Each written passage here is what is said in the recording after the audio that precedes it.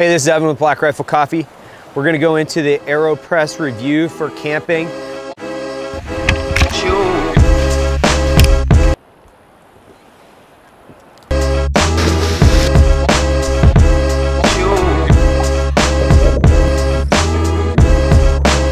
We've been out in the middle of Idaho's most remote wilderness area for about the last four days.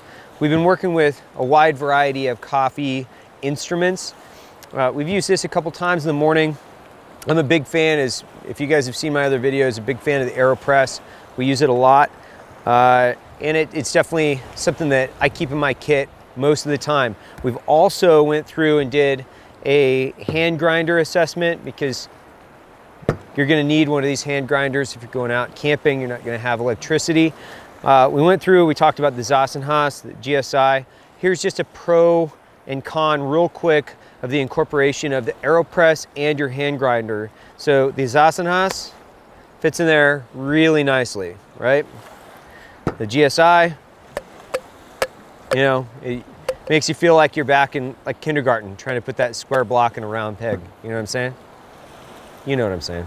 Um, so the AeroPress comes apart two pieces. It's a really simple device. I actually heard a story about how the AeroPress was invented and why it was invented. It was actually invented for river guides and or people that enjoyed river trips.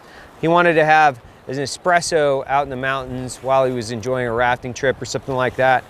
And that's why he came up with the AeroPress. It supplies you with enough uh, pressure. So you're gonna give the heat through boiling water and then reducing that temperature down to whatever temperature that you wish, and then you're gonna run it through your AeroPress. I've also got a uh, instructional on the AeroPress that you can check out. This thing is fairly substantial, very difficult to break. It, it makes a fantastic cup of coffee. You've got a couple different devices that you can use, but you don't necessarily have to take them. Uh, this can be relatively easy replaced or easy to replace. This can too. I mean, you can pour the coffee into your aero or uh, pour your coffee into your grinder, then into your AeroPress uh, without a scooper. You can eye it, or you can actually use an, a measurement or measure spoon. Is that, a, is that a word? Measure spoon? Measurement device.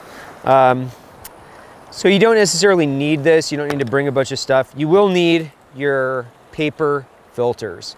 Um, you don't need to bring a whole stack of them. Like Edwin seems to think that we're gonna go through like 300 cups of coffee camping in four days, but that's cool.